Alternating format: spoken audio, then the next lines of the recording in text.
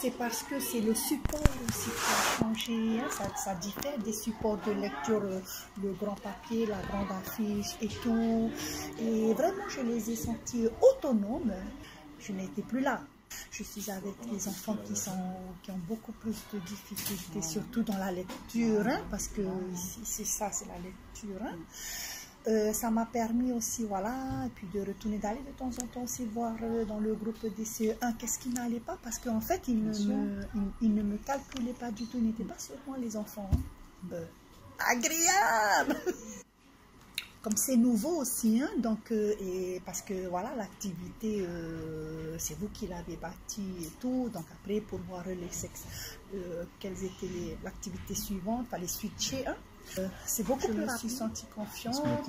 Et par contre, ce qui me travaillait, c'était à quel moment poser le contrat didactique et Ah. puis euh, par rapport aux élèves. Qu'est-ce qui m'a amené moi? Qu'est-ce qui m'a freiné lorsque j'ai lorsque j'ai visionné le, le- la vidéo, lorsqu'on avait visionné la vidéo euh, pendant la formation? Et j'ai juste repéré ces petits détails-là et j'ai jugé, jugé opportun de pouvoir le dire à mes élèves, pour Oui, ne pas bien, que, euh, qui rencontrent les mêmes soucis que moi. Euh, au niveau de la Moodle Box, euh, ce qui est assez euh, dérangeant, c'est éventuellement le fait que plusieurs tablettes ne peuvent pas se connecter ensemble. Et donc, après là, on a sollicitation des enfants, madame, madame, regarde. hein. Mais je pense que, à part ce, ce souci-là, c'est un très bon outil pédagogique pour euh, faire d'autres activités auprès des enfants, mais aussi pour euh, permettre aux enfants de travailler seuls et pour que la maîtresse aussi puisse tourner dans, dans différents groupes à besoins et tout. hein. Voilà. Euh, Chacun avait son rythme de travail. Euh, Donc, pour ceux qui avaient éventuellement fini le questionnaire, ils pouvaient revenir sur le questionnaire pour atteindre la totalité des points s'ils le souhaitaient. Et donc, euh, ça, ça ne les mettait pas en situation d'attente.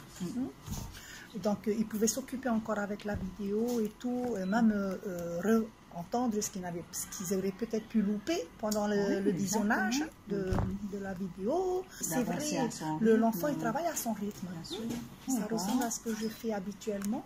Par contre, euh, euh, c'est vrai que j'ai beaucoup été aidée dans le sens où on- les tablettes ont été remises aux élèves, hein, parce que sinon ça aurait amené, alors que avant de les prendre en séance, euh, je prépare déjà les tablettes, qu'elles soient déjà prêtes, pour que lorsqu'ils arrivent, ils s'installent et ils se lancent dans l'activité. hein. Et c'est bien aussi parce qu'ils ont pu retenir certains termes, comme le pupitre, comme l'encrier, comme le plumier et tout. hein. Oui, t'as et faire une comparaison avec euh, au jour d'aujourd'hui, comment on appelle ces instruments. Et ils ont vraiment pu euh, bien. euh, euh, ils- ils-